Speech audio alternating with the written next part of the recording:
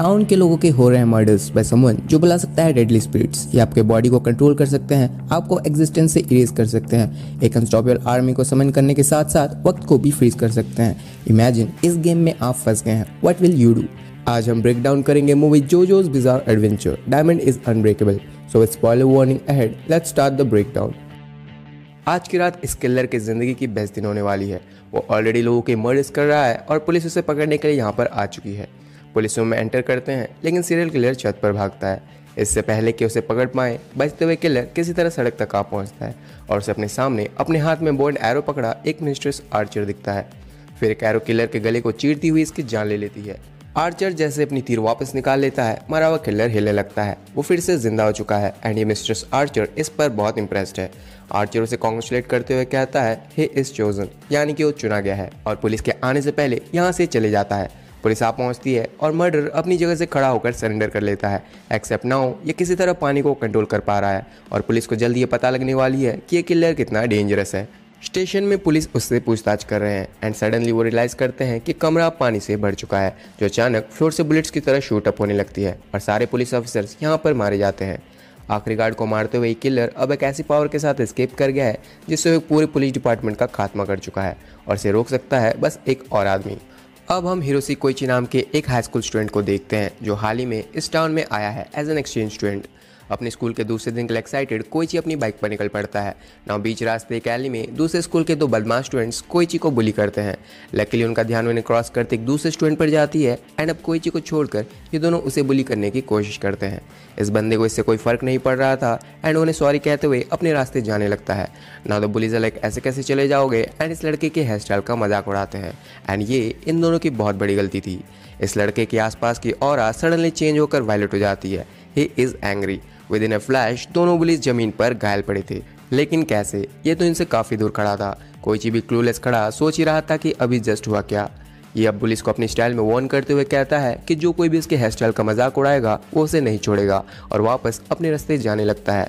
कौन से सना पुलिस का चेहरा अब पूरी तरह से नॉर्मल हो जाती है, जैसे कभी कोई फाइट हुई ना हो। दोनों पुलिस अब इस पर डरते हुए यहाँ से भाग जाते हैं।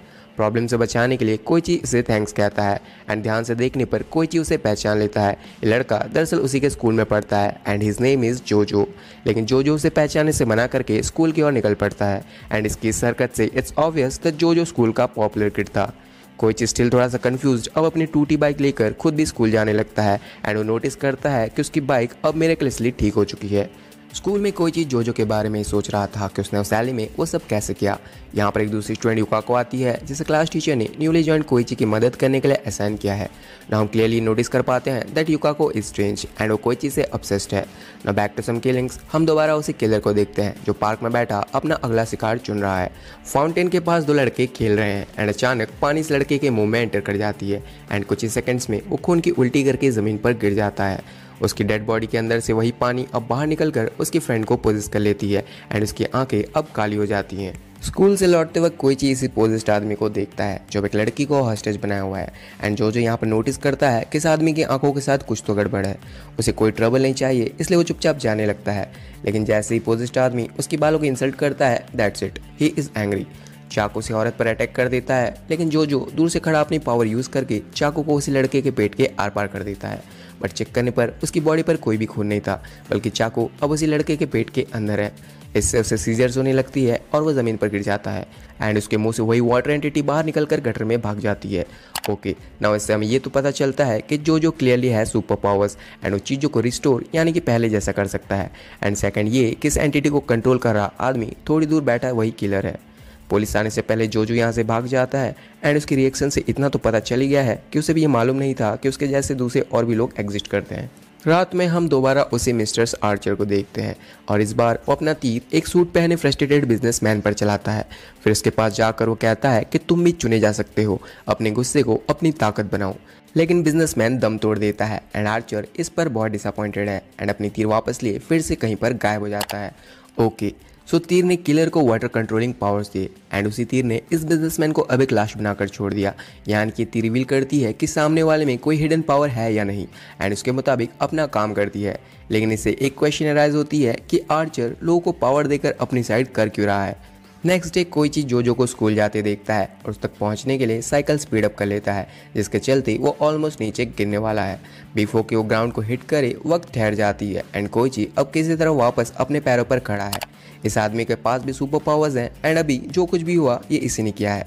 जब कोई चीज़ से जोजो के बारे में पूछता है, जिस पर वो उसकी मदद करते हुए कोई चीज़ जोजो के पास जाकर उससे कहता है कि आदमी उससे कुछ बात करना चाहता है। लेकिन जोजो ने इसे अपनी ज़िंदगी में पहले कभी भी नहीं देखा है। ये खुद को जोतारो इंट्रोड्यूस करता है एंड सेज कि वो जोजो का नेफ्यू यानी कि बोता है। जोजो के पिता जोसेफ जोस्टर अभी भी ज़िंदा थे, एंड ये बात जोतारो उसे बताने के लिए यहाँ पर आया है, जिनके पास बहुत सारी जायदाद है।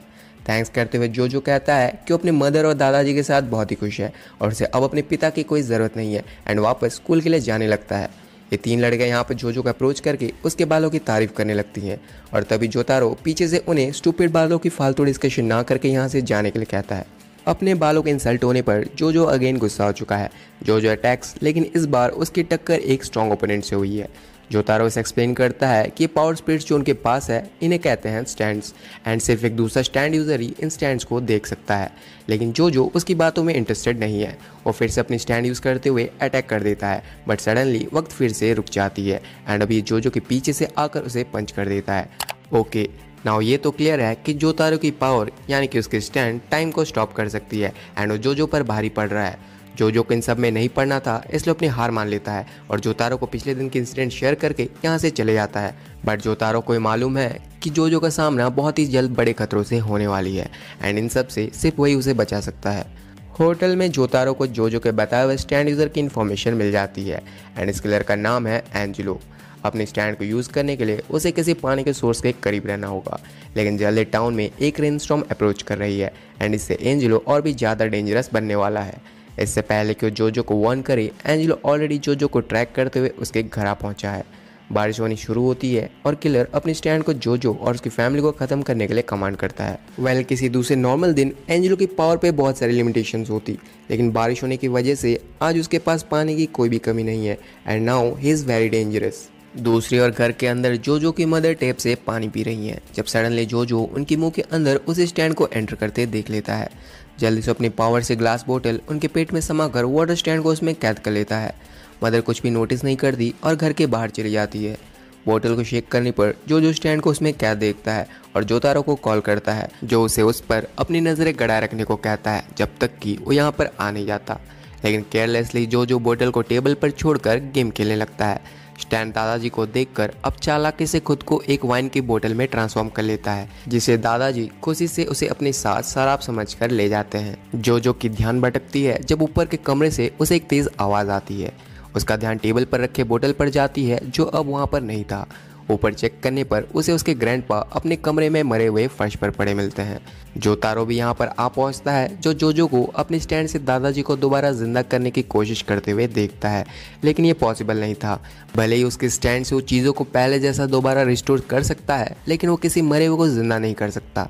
जो तारों को नीचे से आवाज़ आने पर वो चेक करने जाता है तो पूरा फर्श पानी से अब भीगा हुआ है, और उसे हर तरफ़ से उसी किलर की वॉइस उसे थ्रेटन करते हुए सुनाई देती है। स्टैंड उस पर हमला कर देती है and Jotaro dodges out of the way JoJo भी अब नीचे आकर उस स्टैंड से फाइट करने लगता है, जिस पर स्टैंड सडनली गायब हो जाती है और नीचे से जो जो के गले पर अटैक कर देती है। कुछ इंचेस मौत के करीब खड़ा जो जो बच जाता है, जब जोतारो टाइम फ्रीज करते हुए वाटर स्टैंड को पंच करता है। वाटर स्टैंड इन दोनों से हार रहा है, इसलिए अपनी टैक्टिक्स को चेंज करते हुए वो दोबारा कहीं पर गायब हो जाता है। यहाँ पर जोतारो जोजो से अपनी चोट को हील करने के लिए कहता है और हमें पता चलता है कि जोजो अपनी पावर से खुद को हील नहीं कर सकता है। ना उन दोनों का ध्यान स्टोव पर रखी, एक गम केटली से निकलती, भाप पड़ जाती है। एंड वो रियलाइज़ करते हैं कि वाटर स्टैंड ने खुद को अब गैस में ट्रांसफॉर्म कर लिया है। ओके तो ये स्टैंड सिर्फ़ पानी की मॉलिक्यूल से ही ट्रैवल कर सकता है। एंड स्टीम से अच्छा ऑप्शन घर के अंदर फैलने के लिए क्या हो सकता है? लेकिन अब उसकी स्पीड थोड़ी स्लो हो गई है। भाप पूरे कमरे में स्प्रेड होने लगती है। और जो जो कमरे की दीवार को तोड़ते हुए दूसरे कमरे में चले जाते हैं। But this is a trap कमरे के कोने में एक ह्यूमिडिफायर मशीन रखी हुई है और कमरे में वो दोनों अदृश्य मिस्ट यानी कि धुंध से घिरे हुए हैं। वाटर स्टैंड जोजो पर अटैक कर देती है और उसके मुँह से उसके बॉडी में एंटर कर जाती है। एंड किलर ऑलरेडी अपनी जीत सेलिब्रेट कर रहा है। लेकिन ये सब जोजो का प्लान है दर्द में भी लगता जो जो अपनी स्टैंड पावर खुद पर ही यूज़ कर लेता है और अपने पेट के अंदर से एक रबर ग्लव बाहर निकालता है, जिसमें वाटर स्टैंड अब ट्रैप हो चुका है। दरअसल थोड़ी देर पहले उसने एक रबर ग्लव को छोटे छोटे टुकड़े करके उन पीसेस को निकल लिया था और अपने स्टैंड पावर से अपनी बॉडी के अंदर अब उन्हें दोबारा रिकन्स्ट्रक्ट कर लिया है।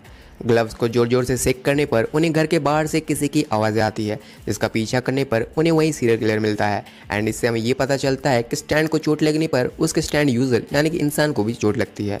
पूछने पर उनसे कहता है कि स्टैंड पावर उसे मिस्टर आर्चर के तीर मारने पर मिली थी।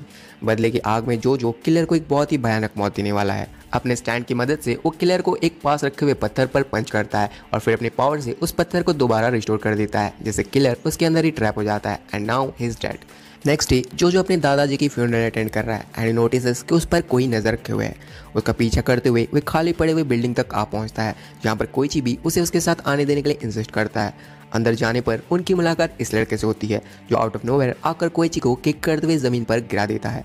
वो कोईची के चेस्ट पर अपना पैर रखता है, जिस पर जो जो उसे ऐसा करने से मना करता है एंड अचानक एक एरो आकर कोईची को बुरी तरह से घायल कर देती है। ये खुद का नाम ओकियासो बताता है एंड ये आर्चर का भाई है। उसके पीछे से उसका स्टैंड द हैंड बाहर आता है। एंड आर्चर उसे जोजो को मारकर उनके साथ ही एंजेलो का बदला लेने के लिए ऑर्डर देता है। ये जोजो पर अटैक कर देता है एंड जोजो नॉक्स हिम डाउन लेकिन अभी तो ये बस शुरुआत है। जोजो ओकियासु की स्पेशल एबिलिटी को नोटिस कर लेता है, जो उसके राइट हैंड में है। एंड वक्त रहते उसे पकड़ लेता है। स्टैंड खुद को आज़ाद कर लेता है एंड जो जो बचने के लिए डॉजेस एंड यहाँ पर हैंड स्विंग करती हुई एक साइन पर टच हो जाती है। जो जो देखता है कि अब उस साइन का एक पार्ट कहीं पर मिसिंग है। यानी कि ओकियासो की स्टैंड पावर है इरेजिंग थिंग्स यानी कि चीज़ों को मिटाना और जितनी इरेज होने के बाद बच जाती हैं, उन्हें आपस में जोड़ देना, बिल्कुल इस साइन की तरह। वो क्या सो अपने सामने खड़े जो जो उसके बीच की स्पेस को ही इरेज कर देता है और जो जो को पंच करते हुए ज़मीन पर गिरा देता है। जो जो एक प्लान के साथ ओकियासो को उसे मारने के लिए उकसाता है एंड हमला होते ही वो सामने से हट जाता है। ओकियासो गलती से अपने सामने रखे स्टेचू और उसके बीच की स्पेस को इरेज कर देता है, जिससे स्टेचू आकर उसे टकराती है and he gets knocked out JoJo जल्दी से कोईची को ढूँढने लगता है, जहाँ पर खून के दागों का पीछा करते हुए वो घर के अंदर उसी आर्चर तक आ पहुँचता है। जो जो उसे तीर निकालने से मना करता है, क्योंकि ऐसा करने पर कोई चीज़ एक्सेसिव ब्लीडिंग से मारा जाएगा। लेकिन आर्चर को इससे कोई फ़र्क नहीं पड़ता। जोजो का ध्यान भटकता है, जब पीछे से फिर से आर्चर का छोटा भाई ओकियाजू यहाँ पर भी आ जाता है। पीछे पलटने पर एक मशीन गन उस पर फायर करने लगती है, वो सामने से हट जाता है और अब ओकियाजू को गोली लग जाती है। वापस उठकर वो क्यासू को बचाने लगता है। एंड इसमें उसके हाथ पर भी बहुत सारी छोटी छोटी बुलेट्स लग जाती हैं। एंड इट स्टार्ट्स ब्लीडिंग फिर भी डिटरमाइन जो जो उसे कोने में खींच लेता है। वो क्यासू से डील करता है कि अगर वो उसे बताएगा कि उसके भाई की स्टैंड पावर क्या है तो उसे बचा लेगा। लेकिन ओ क्यासू उसे कुछ भी बताने से मना कर देता है। बट स्टिल जो जो उसे हील करके बचा लेता है। अब दोबारा दौड़ते हुए वो ऊपर जाता है। तो आर्चर वहाँ पर नहीं था। और कोई चीज़ अभी भी जख्मी कमरे के बीच में पड़ा हुआ था। ओकियासो यहाँ पर आकर अपनी एबिलिटी से कोईची को खींच लेता है और जो जो उसे भी हील करने लगता है। ओकियासु ने जो जो के फेवर के बदले उसकी मदद की। कोईची भी ठीक होकर उड़ जाता है। लेकिन इससे पहले कि लोग भाग पाए, सामने से बहुत सारे छोटे हेलीकॉप्टर्स उड़ते हुए उन्हें घेर लेते हैं। And now they are trapped and ये है आर्चर की रियल स्टैंड वो एक छोटी मगर deadly soldier troop call bad company को कहीं पर भी समन कर सकता है। टैंक्स मिनी सोल्जर्स और हेलीकॉप्टर्स उन्हें हर तरफ़ से घेर लेते हैं। जो जो अपनी बेस्ट दे रहा है उन्हें रोकने में, मगर हेलीकॉप्टर्स की मिसाइल बराज के सामने वो कमज़ोर पड़ रहा है। ना कोई चेक टैंक को उनके पास आते देखता है और जो जो को जल्दी से वार्न करता है। इससे जो जो रियलाइजेस कि अगर कोविची भी अब उन स्टैंड को देख सकता है दैट मीन्स कोविची भी अब एक स्टैंड यूज़र है। एंड एरो ने उसे भी चूज़ किया है। इस पर आर्चर फाइनली बाहर आकर उन्हें अपनी fully form stand bad company के साथ कन्फ्रंट करता है, क्योंकि वो जानना चाहता है कि कोईची को कौन सी स्टैंड पावर मिली है। सोल्जर उसके पैर पर स्टैप करता है, जिससे एक जाइंट एग अनलिश होकर फ्लोट होने लगती है। दैट मीन्स कोईची को एक बहुत ही बकवास स्टैंड मिली है, जिसकी पावर है एक बड़ा अंडा। नाइस आर्चर इन पर हमला करे। इससे पहले ही आर्मी को हेड ऑन फाइट करते हुए जो जो अपना बेस्ट देता है, बट आखिर में वो अकेला इनका सामना नहीं कर पाता। आर्चर अपने आर्मी को कमांड करता है टू किल जोजो जिस पर कोई चीज़ उसे ऐसा ना करने के लिए भीख माँगता है। बट आर्चर एक और सीक्रेट रिवील करता है कि एक बार उसने कमांड कर दिया तो आर्चर खुद भी उस कमांड को बदल नहीं सकता और सोल्जर्स उस कमांड को एग्जीक्यूट ना करने तक और कुछ भी नहीं सुनते। हेलीकॉप्टर जोजो पर अपनी मिसाइल लॉन्च कर देती है एंड जोजो अपनी बची कुछ ताकत के साथ उन्हें रोक लेता है। बट इसी के साथ वो बिल्कुल थक चुका है एंड कोईची भी अब डिफेंसलेस एंड लाचार है। कोईची हार नहीं मानता और इससे उसकी स्टैंड पावर इवॉल्व हो जाती है। एग क्रैक्स और अंदर से एक टाइनी क्रीचर बाहर आता है। हवा को पंच करता है और नीचे गिर जाता है। It's still useless stand and Archer को इसकी कोई भी ज़रूरत नहीं थी, इसलिए वो इसे माने जा रहा है। बट जो जो नाव अपना मास्टर प्लान यूज़ करता है और पहले डेस्ट्रॉय के मिसाइल्स को अपने स्टैंड से रिस्टोर करते हुए उनकी डायरेक्शन आर्चर पर ही टर्न कर देता है। आर्चर अपने सोल्जर से मिसाइल को रोकने का ऑर्डर देता है, लेकिन उससे पहले ही उन्हें कमांड ऑलरेडी दे दिया है, इसलिए वो उसे प्रोटेक्ट नहीं कर सकते। मिसाइल आकर आर्चर को हिट कर जाती है एंड उसकी स्टैंड बैड कंपनी गायब हो जाती है। ना ऊपर से आवाज़ आने पर कोई चीज़ जाकर दरवाज़ा खोलता है और एक भयानक मॉन्स्टर उसे पैर से पकड़कर कमरे में खींच लेता है। जो जो मॉन्स्टर को पंच करके ज़मीन पर गिरा देता है। आर्चर स्टिल ज़िंदा है, जो उन्हें रिवील करता है कि मॉन्स्टर उसके डैड हुआ करती थी, जो अब एक इंसान नहीं रहे और अब एक इमोर्टल क्रीचर या यूँ कहे कि एक ऐसे मॉन्स्टर बन गए हैं जिसे मारा नहीं जा सकता। आर्चर बो एंड एरो की मदद से स्ट्रॉन्ग स्टैंड यूज़र्स की तलाश कर रहा है, जो उसके मॉडल फादर को इस हालत से मारकर उन्हें आज़ाद कर सके, जिसमें अब तक उसे कामयाबी नहीं मिली। मॉन्स्टर एक पुराने बॉक्स के अंदर कुछ ढूंढ रहा है। तो जो जो अपनी स्टैंड यूज़ करते हुए उस बॉक्स को अपनी ओरिजिनल कंडीशन में रिस्टोर कर देता है। बॉक्स के अंदर से आर्चर की एक पुरानी फैमिली फ़ोटो निकलती है, जिसे मॉन्स्टर देखकर रोने लगता है। यानी कि अब भी उसके अंदर थोड़ी इंसानियत बाकी है। जो जो ऑफर्स के अपनी स्टैंड से उस बो एंड एरो को डिस्ट्रॉय कर देगा। ओकियासो अग्रीज लेकिन उसका बड़ा भाई कीचू ऑफ़र टुकरा कर यहाँ से जाने लगता है। सडनली करीब आते एक स्ट्रेंज आवाज़ से उसके कदम रुक जाते हैं। विंडो क्रैश करते हुई कोई चीज़ कमरे में लैंड करती है। एंड इट्स अ टॉय का स्टैंड जो ओकियासु पर अटैक करता है, लेकिन उसका भाई कीचू उसे पुश करते हुए अटैक अपने ऊपर ले लेता है। स्टैंड अब उसके अंदर से होती हुई उसके मुँह तक आ पहुँचती है और इससे पहले कि कोई से रोक पाए it blast and Archer blast होकर तिनकों में बिखर जाता है। टॉय का स्टैंड भी वापस विंडो से कूद कर भाग जाती है एंड इसी के साथ अब सब कुछ ठीक हो चुका है, लेकिन सिर्फ़ अभी के लिए। जल्दी जोजो का सामना एक बहुत ही खतरनाक स्टैंड यूज़र से होने वाली है एंड ये टॉय का स्टैंड उसी मिस्टर स्टैंड यूज़र ने भेजी थी। मूवी एंड होने से पहले हमें न्यूज़ से कुछ कॉलेज गर्ल के मिसिंग होने की रिपोर्ट मिलती है और टेबल पर एक पेपर बैग में रखा हुआ, कटा हुआ हाथ है। एंड ये उसी मिस्टर स्टैंड यूज़र का काम है, जो अपनी किलिंग्स ऑलरेडी शुरू कर चुका है। तो ये थी JoJo's bizarre adventure diamond is unbreakable का पूरा ब्रेक डाउन आई होप कि आपको पसंद आया। बट टाइटल में डायमंड से क्या मतलब है? द आंसर इज़ डायमंड जोजो के स्टैंड पावर का नाम है। तो आपको कौन सा स्टैंड चाहिए, मुझे कमेंट में ज़रूर बताएँ। वीडियो पसंद आई हो तो like the video share and subscribe thank you for your love this is move in short